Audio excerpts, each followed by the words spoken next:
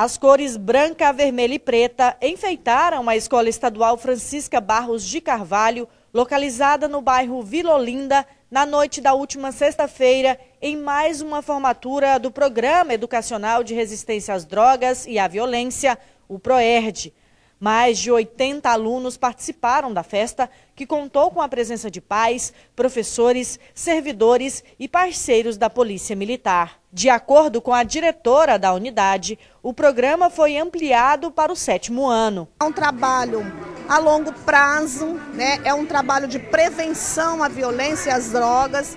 E a gente sabe que as nossas crianças, se a gente começar a trabalhar Agora, no início, com certeza, esses meninos serão cidadãos né, que vão desenvolver um trabalho melhor na sociedade. O PROERD é o maior programa de prevenção contra as drogas em Mato Grosso, existente há mais de 15 anos. Atualmente, em Rondonópolis, 1.200 crianças são atendidas pelo programa em escolas da rede particular e estadual. Na fila de espera para a solenidade, a criançada soltou a voz. ProERD é um programa.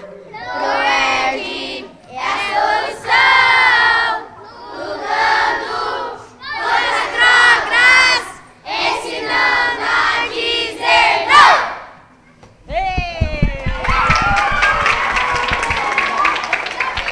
Vitória, o que, que você acha do ProERD? Muito bom, porque ajudou a gente muito em muitas coisas do ProERD, ensinou pra gente não usar droga, é pra gente ser confiável, responsável. Você gosta de participar do ProERD? Sim. Por quê? Porque é muito legal, ensina as crianças a ficar longe das drogas, ficar longe da violência e muitas coisas. Hoje é dia de...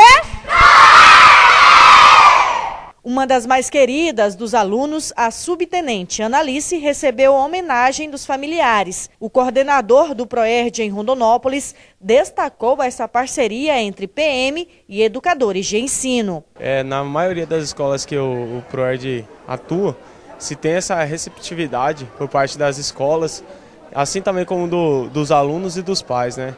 onde entra na, na nossa divisão de tarefas a Polícia Militar entra com, com conhecimento e com as instruções, que é prestado de maneira gratuita, e a escola, por contrapartida, ela auxilia no, nos aparatos né, necessários para se dar aula, a sala, o data show, e, e também no, na parte da formatura e na organização do, de todos os eventos do, que são relacionados ao ProERD.